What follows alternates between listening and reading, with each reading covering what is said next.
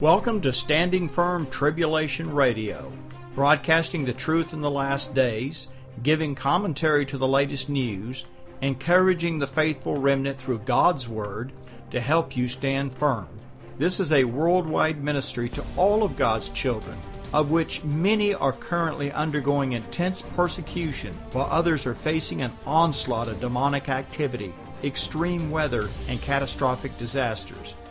We have another great show planned for you today. If this is your first time to the show, you're encouraged to text your questions or comments to our dedicated number. That's 512 368 7614. Again, that number is 512 368 7614. Please send me any questions or comments that you might have. Please remember to include your first name. Every show is meant to bring hope and encouragement to every Christian to stand firm while we wait upon Jesus Christ to return in glory for His church. You're listening to Tribulation Radio. This is Tuesday, September 22nd, 2015, in the year of our Lord. I'm Daniel Blair, broadcasting Tribulation Radio. I'm broadcasting to the faithful remnant living in the last days. New World Order, discerned, not deceived, is our topic for today's broadcast. But before we get started, I do want to discuss briefly some things that are scheduled for this week. Pope Francis arrives in Washington within the hour. At 9:15 a.m. tomorrow, Barack Obama welcomes the Pope to the White House. And then on Thursday, September 24th, at 10 a.m., he speaks to both houses of Congress. This is the first time in history that a Catholic Pope has ever spoken to both houses, which is even more intriguing when you consider that he was only invited to speak to the Senate, but it was he who requested to speak to both houses of Congress. Then on Friday, September 25th at 8:30 a.m., the Pope will meet with the United Nations General Assembly that will address the Sustainable Development Agenda. I will be discussing more of this in the next week's broadcast, along with the total lunar eclipse, the super blood moon, and the Feast of Tabernacles, which begins on the same day. Let's begin by talking about biblical discernment. In the last days, so called prophets, politicians, and religious leaders have arisen speaking and saying different things. But where's the discernment? Without biblical discernment, it has created a matrix of confusion, casting most in the depths of darkness, who are then willing to blindly follow anyone who speaks with a polished rhetoric and outrageous promises. On the other hand, we must have biblical discernment to expose the lies and to rescue those who have been taken captive through their sorceries. So, what is biblical discernment? It's much more than just memorizing a few favorite verses of Scripture. It's much more than memorizing and quoting a religious leader's slant on the truth. It's much more than taking an eschatological viewpoint and forcing it upon all Scripture. It's much more than parroting the speech of a popular, political, or religious personality. Biblical discernment is putting all of God's Word into our heart, and that can only happen when we become doers of the Word. It begins in our mind and remains in our heart by following God's commandments for all of life, allowing it through faith to transform our miserable lives. The Bible says, But solid food is for full grown men, even those who by reason of use have their senses exercised to discern good and evil. Hebrews 5:14. Solid food moves beyond the milk of God's word to the many other truths that will bring us into maturity. This is the first and most important step toward biblical discernment. As we continue our spiritual growth into all truth and understanding, we realize that all of God's Word must be relevant for all of life. Therefore, it is essential that nothing is added or taken away from what He has given us for all of life and godliness. Very few in our day really come to the truth and allow it to make a real difference in their life. They never experience the new life in Christ. In fact, most people keep polluting their minds with all the trash in the world, making it impossible for them to discern the truth from a lie. For example, I have known many people who can memorize all that psychology has to say about who and what they are. They can explain the label placed upon them by the professionals of psychiatry and the different drugs that they are now required to take for the rest of their life, but are unable to explain how God's truth alone can make them into a new creation. They have been deceived by the counterfeit miracles of our age, believing that their worldly counselors and prescription drugs will solve their problems and give them a better life. But let me stress these so called miracles are counterfeit and have no power to transform your life into a beautiful new creation.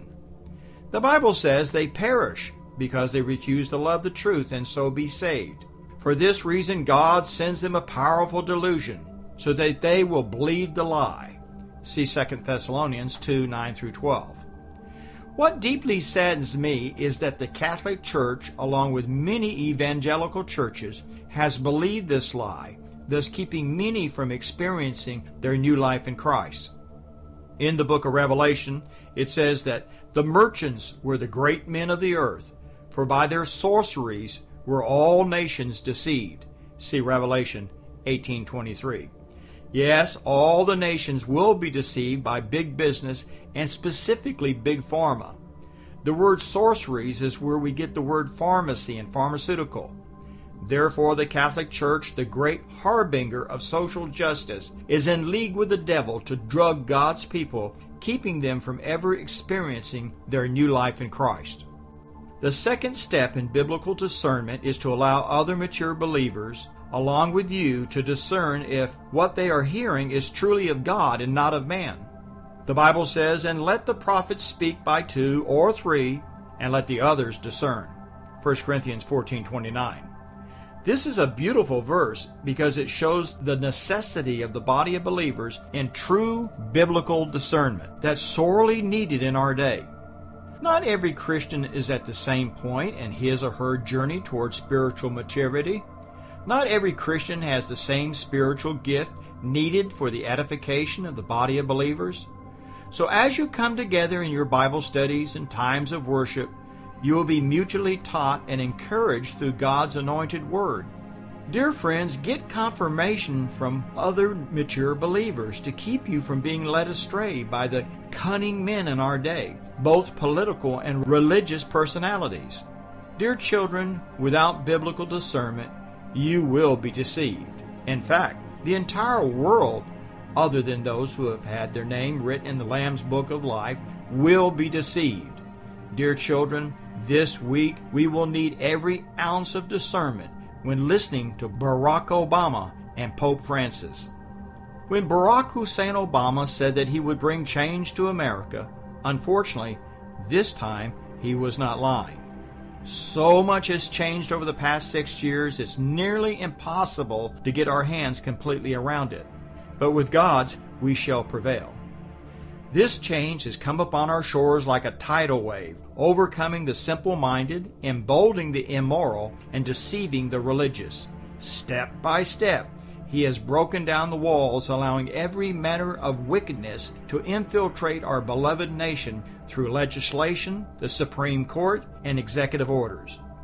We are no longer asked, but demanded to accept homosexuality, same sex marriage, and the transgender. We are no longer asked, but demanded to accept the 85,000 refugees, most of them from Syria, next year, and to accept the increase to 100,000 the following year. We are no longer asked to accept the Islamic faith, but demanded that we show tolerance by allowing their diabolical teachings into our local schools and influencing our religious leaders to have dialogue and joint prayer services. This, my friend, is all done in preparation for the New World Order that will require acceptance of all people, their culture, their language, and their belief system. I find that the changes the Pope is making rather astonishing when you consider the history of the Catholic Church, who has always taken the opposite position as being a closed society of true believers, willing to persecute those who held a different belief and warring against the Islamic faith seen as the devil incarnate. From almost the beginning, it had always believed that those who stood outside the church were destined for the fires of hell and eternal damnation. What would cause Pope Francis to enter a mosque in Turkey and pray alongside a Muslim cleric, praying to a different God? Is he following the example of Barack Hussein Obama, who also removed his shoes and kneeled down with Muslim clerics in a joint prayer service as they prayed to Allah? What would cause the Pope to implore all churches in Europe to take in a Muslim refugee family? So, does this mean that they will now be praying to their God, Allah, in the structure where Christians regularly meet to worship and pray? What has caused this complete reversal where they are now willing to bring all faiths together in unity, demonstrating a degree of tolerance never before seen. What would inspire him to say the following in Cuba on this past Saturday? It is a sign of the victory of the culture of encounter and dialogue, the system of universal growth over the forever dead system of groups and dynasties. Clearly, the Pope is set on a path to break down the walls of separation thus bringing forth unification amongst the world's leaders and preparation for a new world order. We have seen the signs of deception where Pope Francis is relaxing some laws within the Catholic Church, praying with and accepting the Islamic faith and mutual dialogue. As we wait in anticipation of Pope's speech this week to both the UN and to both houses of Congress, let's briefly examine some of his latest speeches that should give us an eye for discernment. In a speech to the popular movement in Bolivia, he used the word change 30 times. One wonders if he has taken a page from Obama's playbook. It appears the change he was looking for was continuing his social programs and lifting all people up to the same level throughout the world, taking care of Mother Earth, and relaxing the culture and religious barriers that separate us. He said they want their culture, their language, their social process, and their religious traditions to be respected. Clearly, this could only be accomplished if all world leaders would come together. With as many references to globalization, he also said, We want a change which can affect the entire world, since global interdependence calls for global answers to local problems. Furthermore, he has said to our brothers and sisters in the Latin American indigenous movement Allow me to express my deep affection and appreciation of their efforts to bring peoples and cultures together in a form of coexistence, which I would call polyhedric, where each group preserves its own identity by building together a plurality which does not threaten but rather reinforces unity. I believe we're already seeing this in the United States, where they're introducing Islamic teachings into our public schools and among our children. Yes, Pope Francis, we are listening. God give us discernment so that we will not be deceived.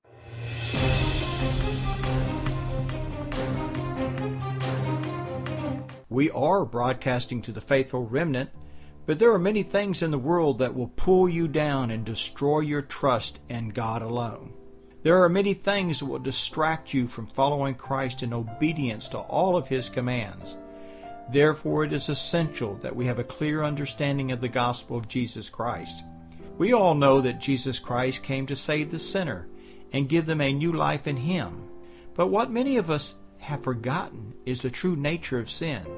Yes, we have all sinned and fall short of the glory of God. But what is sin? We will all agree to disobey any of His commandments is sin. But how many can you quote? You might say, If I love God and my fellow man, that I have fulfilled his commandments. But don't forget that he has given us over 127 commands in the New Testament alone to show us how to love God and how to love one another. On our own, we cannot obey. But with God, all things are possible. Not only has He promised to save us, but give us the ability to obey all of His commandments and trust Him alone. This is all by the grace of God, not by works, lest any man should boast. This grace comes through faith, believing in Jesus Christ, who is the true Son of the living God, who died, was buried, and raised on the third day, opens a door to a new life in Him. This is a life where all of our sins are forgiven and we are made into a brand new creation where old things pass away. From the very first day, we're given the gift of the Holy Spirit to lead and guide us into all truth, producing every manner of spiritual fruit. This eternal life misses the sting of death and ushers us into His glorious presence. This free gift is given to those who are called into His kingdom. So, dear Saint, don't spurn such a great a salvation by denying the faith and trusting the world to solve your problems. Don't deny the faith by believing that there are other paths to salvation. Don't deny the faith if you enter a time of persecution. Dear children, don't deny the faith even if you lose your life. To remain faithful to Jesus will bring a great inner joy in the midst of your greatest trials and give you the assurance of your salvation. Dear friends, remember God's word that says, and ye shall be hated of all men for my name's sake. But he that endureth to the end shall be saved. Hallelujah. Dear friend, if you have not yet accepted Jesus Christ as your Savior and Lord by placing all of your trust in Him to make you into a new creation and forgive you of all your sins, then you can do that right now in the privacy of your own home. Come to Jesus right now, confessing and repenting of your sins telling him that you believe that he is the Son of the living God and the only path to salvation, asking him to take full control of your life as Lord. Then send me a message letting me know of your decision so that we can pray together and rejoice. Amen. You're listening to Tribulation Radio.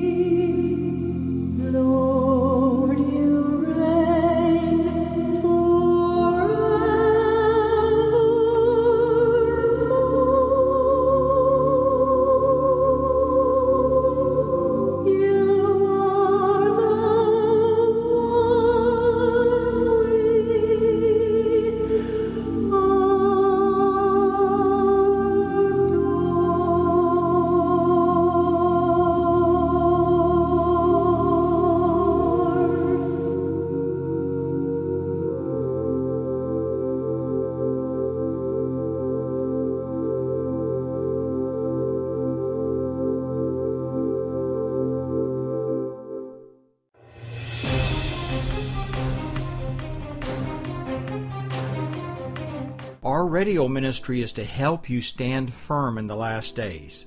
For many years now, I have preached, taught, and written four books to help every believer to experience freedom from the bondages of their old life and the ruthless attacks of Satan, dragging many into a life of despair and psychotropic drug addiction. My greatest desire is to lead every believer to experience the tremendous joy that comes from their new life in Christ Jesus. Therefore, I am offering to those who are listening to Tribulation Radio all four books Final Warning, Stand Firm, Guiding Principles of Biblical Counseling, and Revelation Truth for one time donation of $10 per book or $30 for all four books, which include shipping and handling for those living in the United States. And for our friends in Canada, please add an additional $5 per book for postage. Please understand, my friends, that this one time offer barely covers the cost of books and shipping. May God use these materials to draw you closer to Him while you boldly stand firm in your faith.